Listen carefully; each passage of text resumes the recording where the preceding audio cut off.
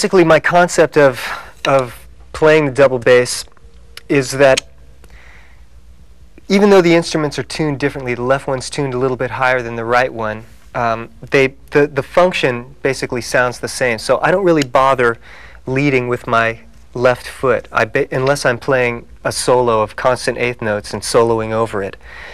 But um, basically what I'll do is always lead with my right foot and I always imitate what I've done with my hands with my feet.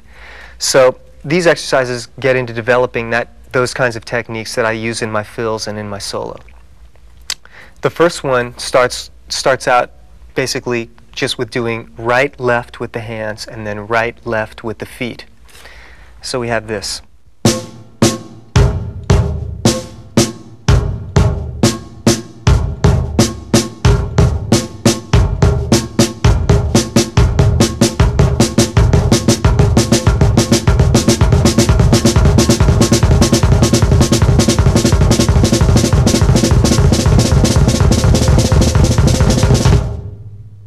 Now next, we move on to doing four beats with the hands and then four beats with the feet. Once again, right, left, right, left, and then right, left, right, left with the feet.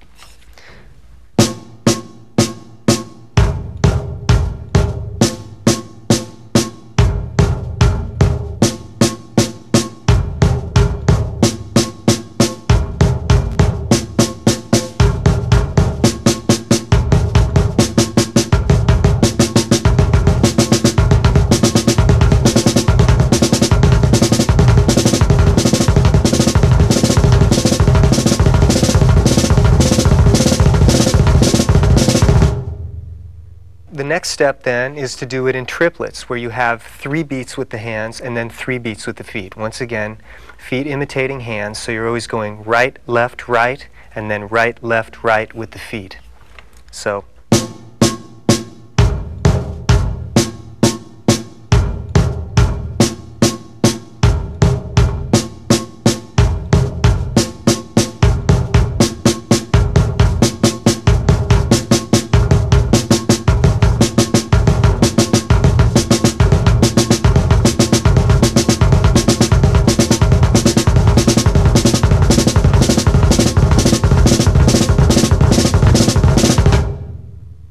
next section deals with doing three beats with the hand and then three beats with the feet, but in 16th notes with a double with the hands and a double with the feet to, to make it come out right in a bar of 4-4 time.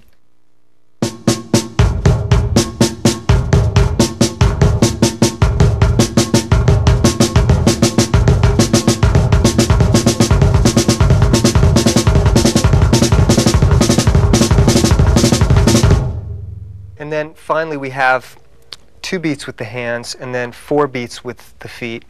So it's a rhythm that's in a sextuplet. And that sounds like this.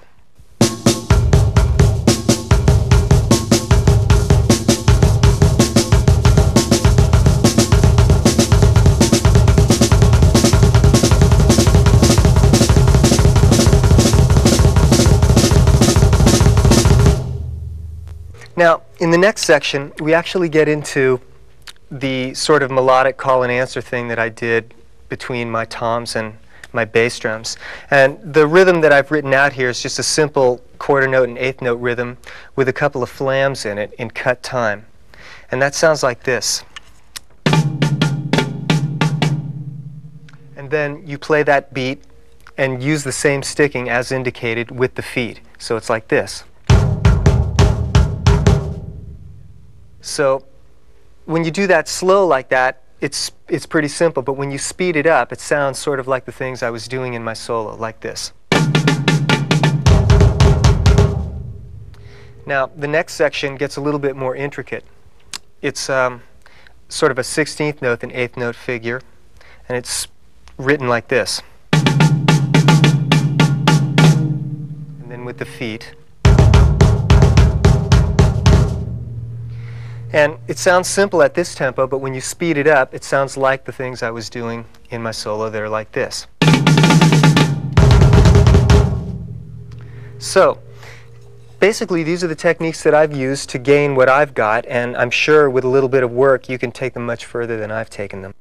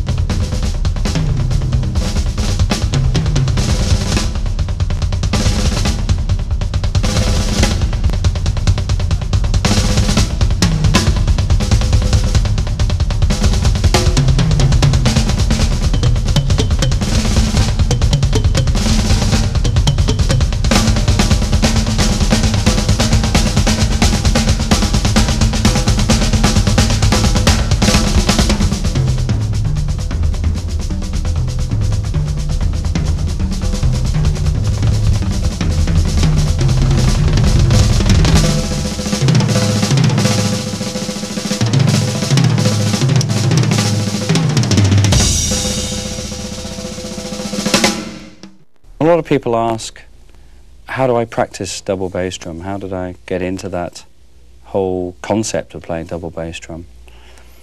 I actually treated them as another pair of hands, except they're just a different shape. And they usually have, uh, you know, shoes covering them. Um, but apart from that, I, I give them the same attitude as my hands, but I allow for the limits of the feet, so I slow everything down. So I play a series of exercises which I would play on the snare drum. Single stroke, double stroke. I try a little bit of triple stroke. I play some paradiddles on the bass drums. Um, and the other thing I do is play rhythms, play a little solo on bass drums. And that really helps to loosen up the feet. It's very important to, to really find out your limit. I find with bass drum playing, if you're relaxed, you can get to a certain speed. And then if you really tense up and you're sort of on the nerve, you can get it quite quickly. But there's really no control. And if you try to slow it down a little from that quick speed, it's it, you lose it. So it's very, uh, it's very interesting actually how pure control over the feet, how slow it can actually be. So there's nothing wrong with practicing very, very slowly. Again, I think it's accuracy, it's giving the notes each a full value, velocity is very important, and also being seated and relaxed. So the first exercise really is just single strokes, very slowly. When I practice, I tend to keep my heels down. I don't really know why. This never happens when I play, um, you know, when I'm playing for real, except when I play quietly, my heels can drop.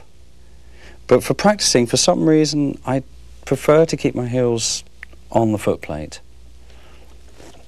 So, just basically, one hit on each drum.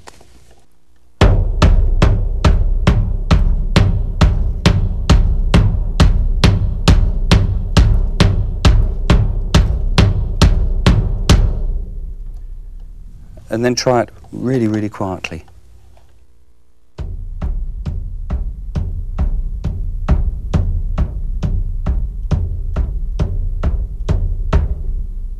Single strokes, a little bit faster.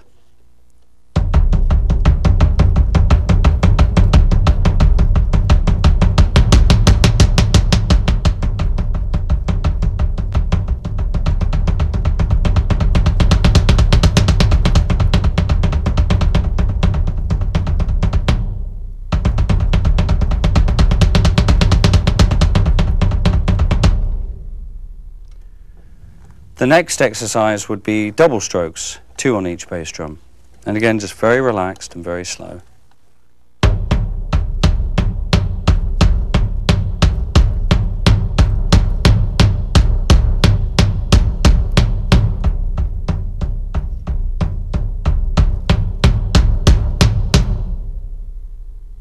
little bit faster.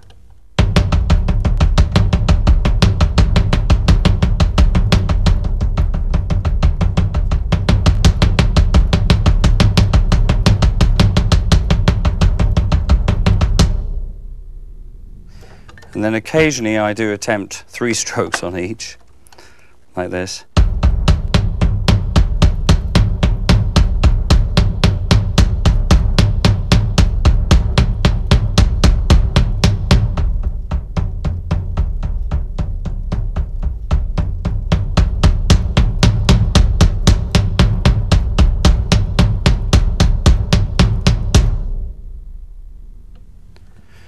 Of course, there's the old paradiddles. Again, single paradiddles would be the first one.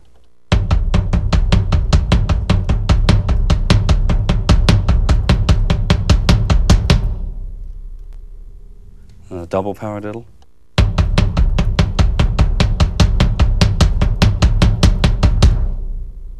And a triple paradiddle.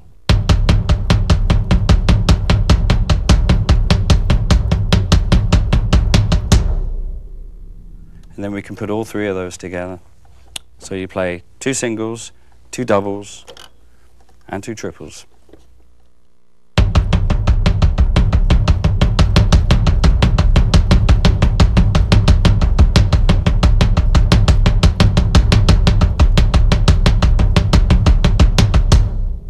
And then you can just play anything, anything that comes into your head.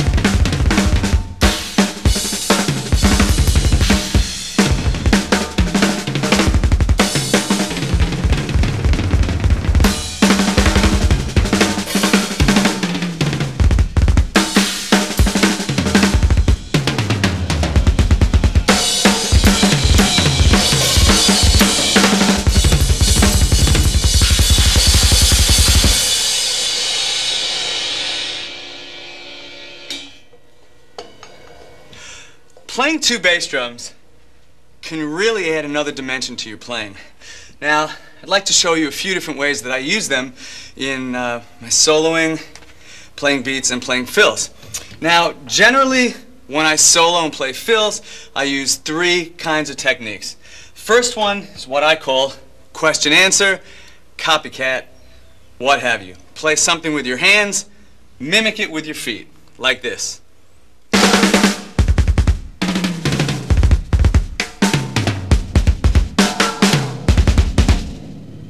Something along those lines. Another technique I use involves playing around with your hands and then at random doubling some of those licks with your feet, like this.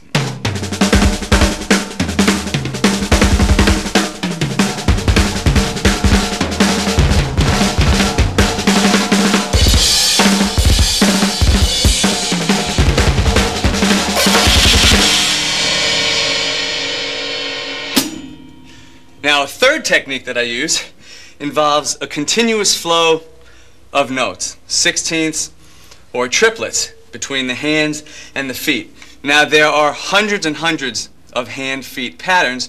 I want to work with one for the moment. It's the first pattern you probably work with when you're practicing double bass drums. Four-note pattern. Two hands, two feet. Some people call these quads, and I love that word. Okay, Hand, hand, foot, foot.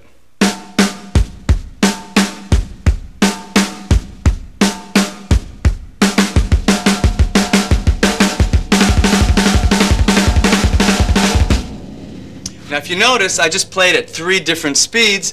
That's because when I'm using the two bass drums, I often like to switch gears and slow things down and speed them up. Always in time though.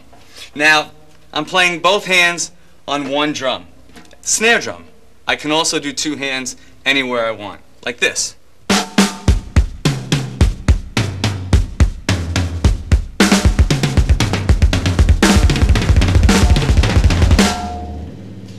Another thing to do is to put one hand on one drum, one hand on another, like this. It's a totally different sound.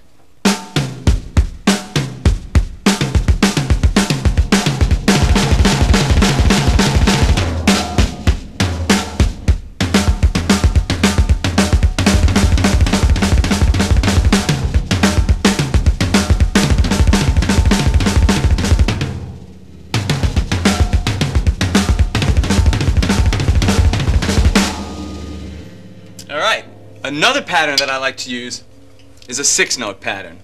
Either four notes in the hands, two in the feet, or two notes in the hand, four in the feet. I'll start with four with the hands, two with the feet. I'll play them all on one drum first.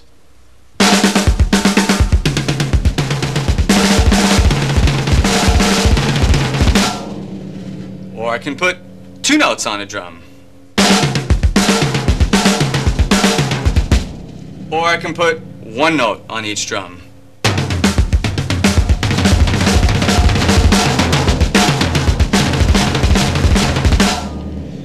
So now I'll just play a little bit and put all these three different um, patterns together. The quads, uh, the triplet or sextuplet patterns, and then these six-note groupings.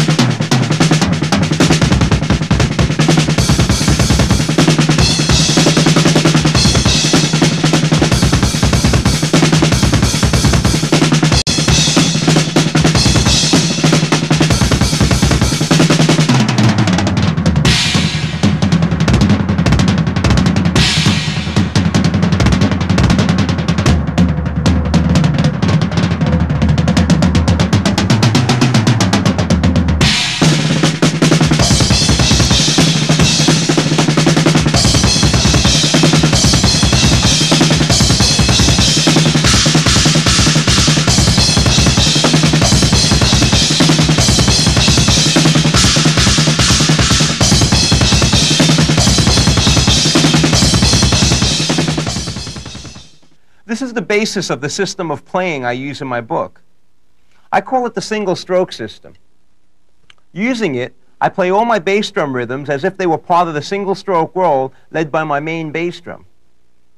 Using this single stroke roll as a basis, I can create rhythms by simply removing notes from the roll while playing the remaining notes as if the roll were continuous.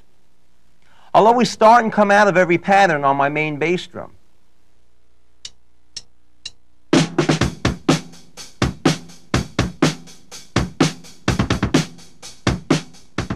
Applying this system to 16th notes, my right foot plays all the eighth notes, and my left foot plays between the eighth notes, or on the E's and U's.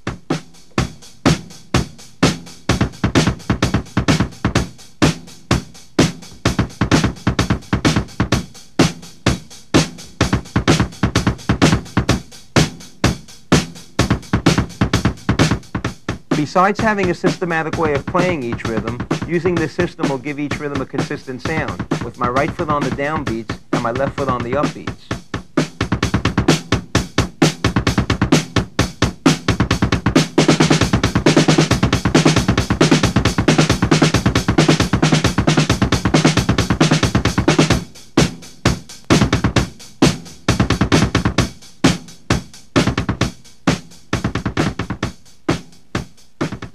I can now use my second bass drum to add to a rhythm that would commonly be played on one bass drum.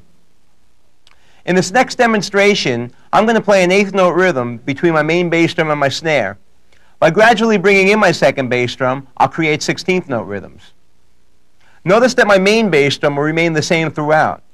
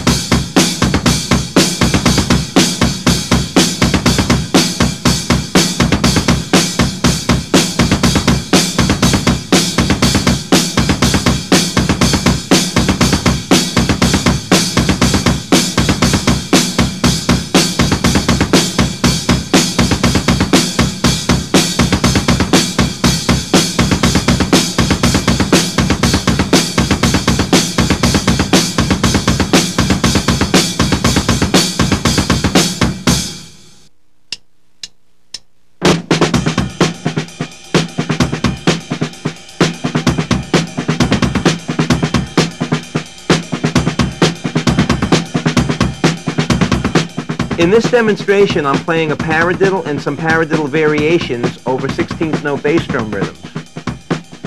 Practicing mixed sticking patterns over different bass drum rhythms will develop independence between the hands and feet.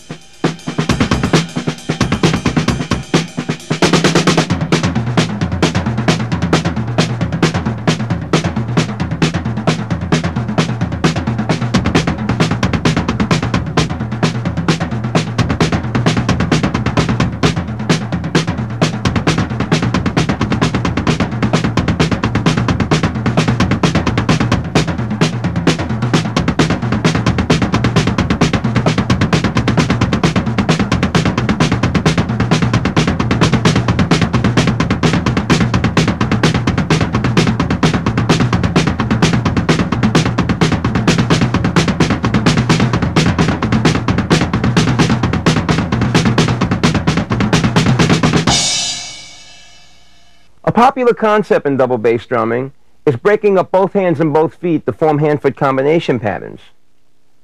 In dealing with 16th notes, I can break up the hands and feet in any multiples that'll add up to 16. Two good patterns to practice to begin with are breaking up the hands and feet in multiples of twos and fours.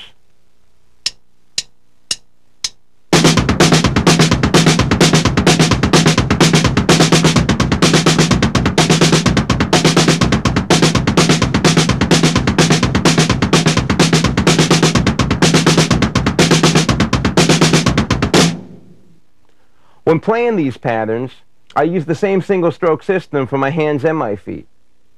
I lead with my right, and I alternate each stroke as right, left, right, left, etc., regardless of whether each stroke is played with the hand or the foot. In using this system, I'll always come out of a pattern on my right hand and my right foot.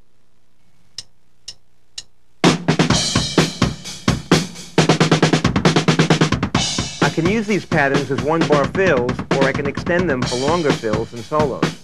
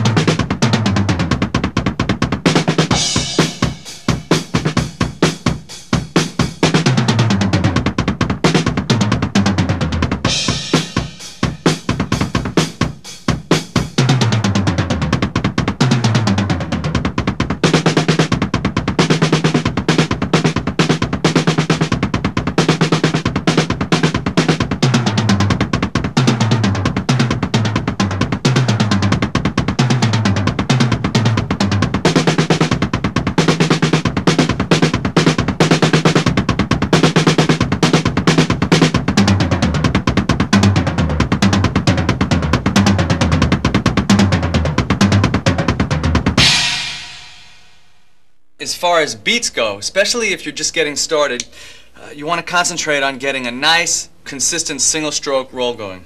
That would be sixteenths or triplets. And uh, you might want to work towards that by playing simple hand patterns over it. Maybe uh, quarter note, backbeat on the snare, quarter notes on the cymbal, uh, eighths on the cymbal, offbeat cymbal pattern, paradiddles, because rudiments work really nicely. So that's exactly what I'll do. I'll play a couple measures of each of those. That sounds like this. Two, three, four.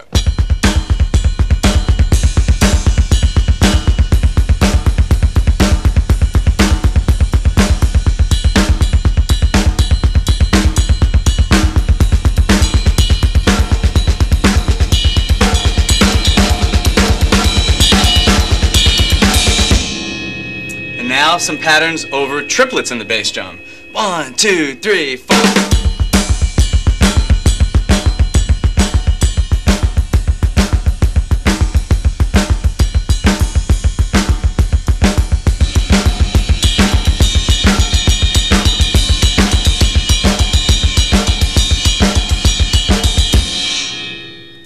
Now these are more or less continuous patterns because the bass drum is uh, never letting up. Duh, duh, duh, you should also practice breaking up those patterns. Probably call them non-continuous beats. Here's an example of that. Two, three, four.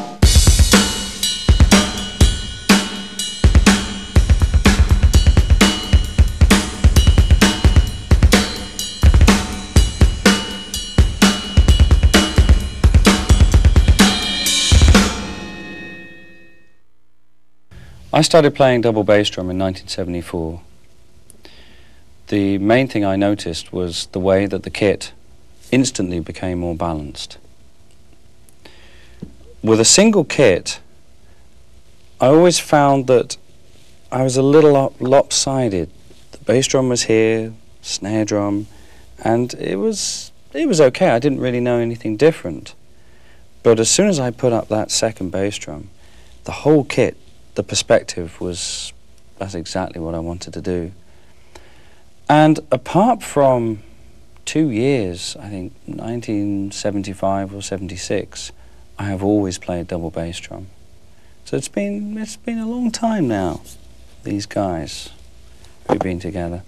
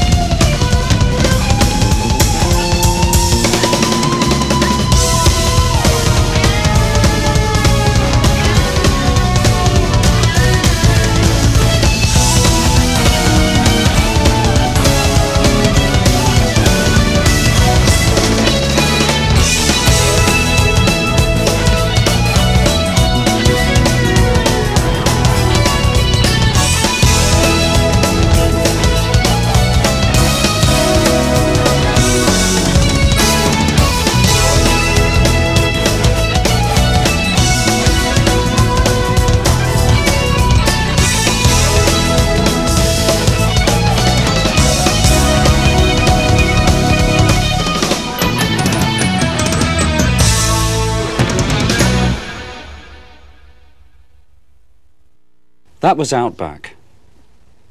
The rhythm in this is very similar to Space Boogie, the track I did with Jeff Beck, but we lopped off one of the beats, so it's in 6 4. The main thing about playing a track like this, or like Space Boogie, is pacing. It's a really high energy track. Double bass drums throughout the whole song, well, nearly throughout the whole song. And it's very easy to just blow the whole, all your cookies in, in the first song. And especially if this is put in the early part of the set, you've got to be fit to play the rest of the set after playing this song. So that's one of the things to really look out for when you're playing a, a high energy track. The other thing, with a double bass drum track like this, it's not necessary to just go like, you know, slamming full out. It's actually better to be a little reserved because you'll find musically it will overpower everything. So it's best to just reserve it and keep it really, you know, keep the tension there.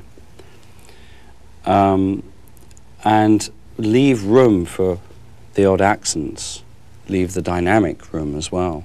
You'll notice when we get to the solo section, I really just pull back and let like Anthony just just ride in there to give Ray some space to solo. Uh, it's dynamics, but it's also pacing with a track like this.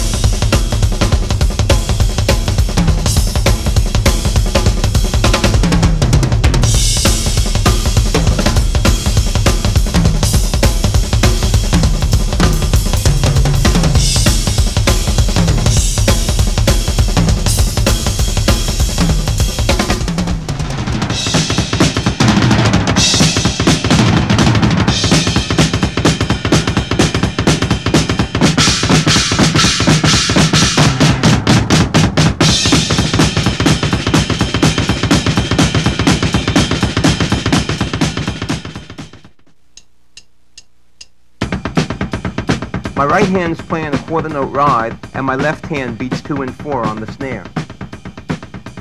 The eighth note triplet roll differs from the 16th note roll in that the main bass drum plays on beats one and three, and the second bass drum on beats two and four. The snare and the second bass drum will fall together on beats two and four. If I isolate the main bass drum, it plays two quarter note triplets per measure.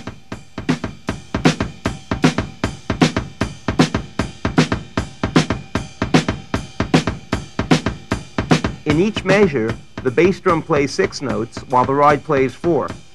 This is known as a six against four polyrhythm.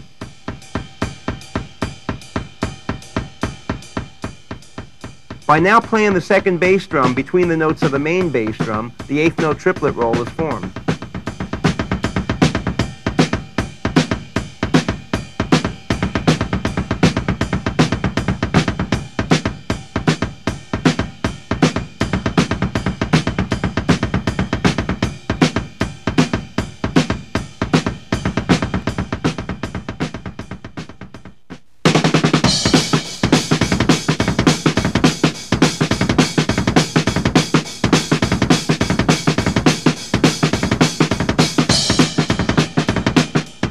Here I'm using eighth note triplets to demonstrate a few ideas for beats, fills, and solos.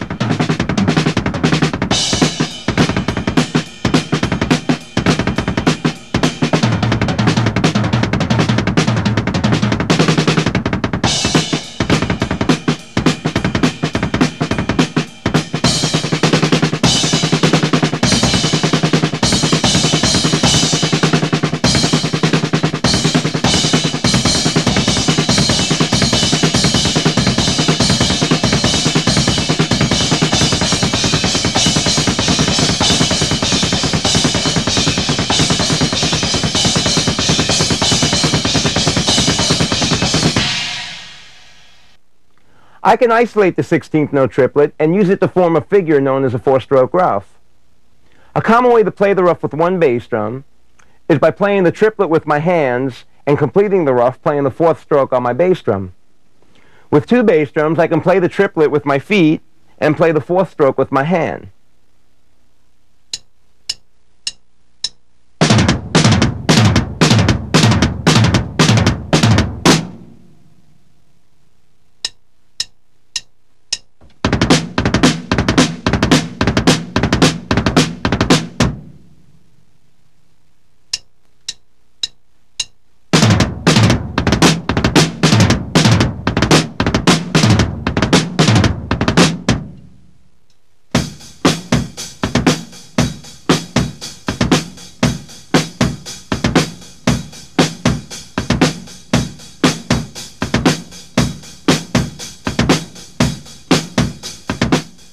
In this pattern, I can substitute the 16th note triplet for the two 16th notes that fall on the and of three.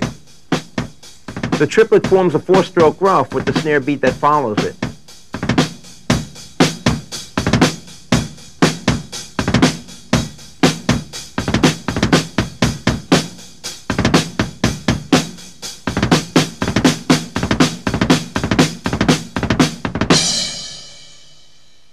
I can combine the 16th note triplet with 16th notes to form hand-foot combination patterns. Since the 16th note triplet takes up a half a beat in 4-4, I can substitute the triplet for two 16th notes.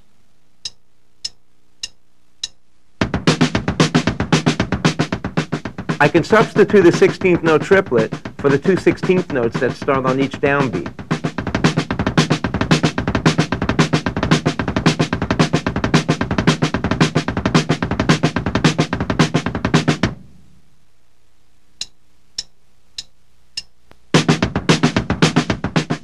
Here I'll substitute a 16th note triplet for the two 16th notes that start on the end of each beat.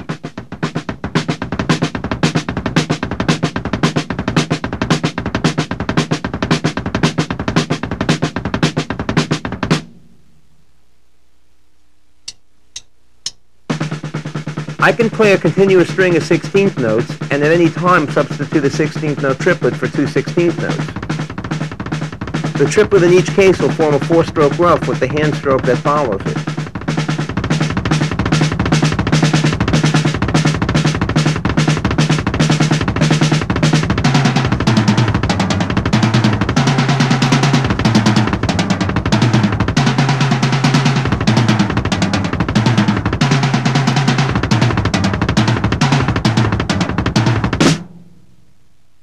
One of the little tricky things that uh, I think is actually a very good exercise for coordination is back to our dear friend the paradiddle. And I've devised this little exercise which uses paradiddles on the bass drums and paradiddles on the snare drums. Except one is half speed. So for example, the paradiddle on the snare drum will be half the speed to the paradiddles played on the bass drums. And this is a real mind bender, you know. Really gets the coordination going. So we'll start off with the bass drums, and I'll add the paradiddle and the snare drum.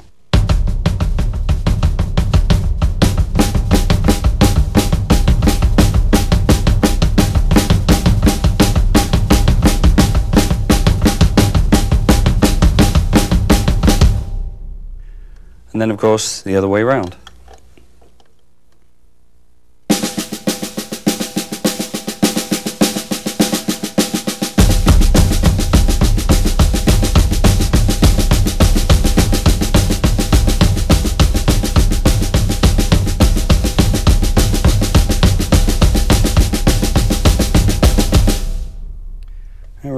Brain going.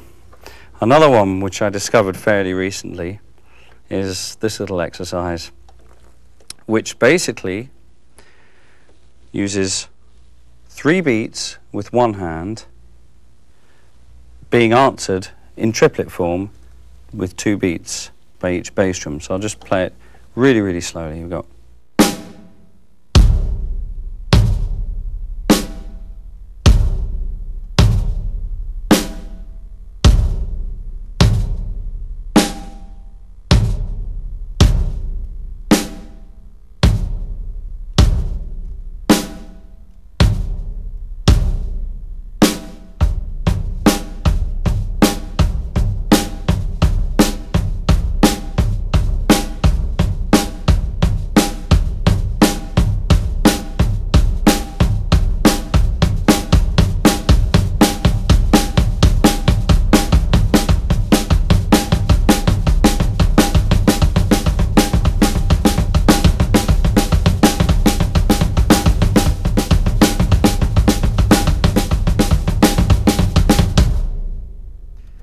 That's a real awkward one. And it's a good one to practice because if you can get around that one, then whichever side of the kit you're on, you can start things with one hand and then to the other.